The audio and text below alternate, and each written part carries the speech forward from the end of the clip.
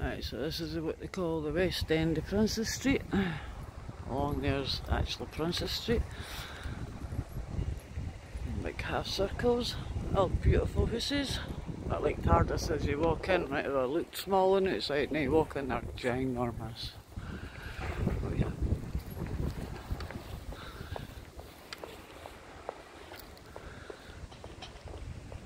Wonder if about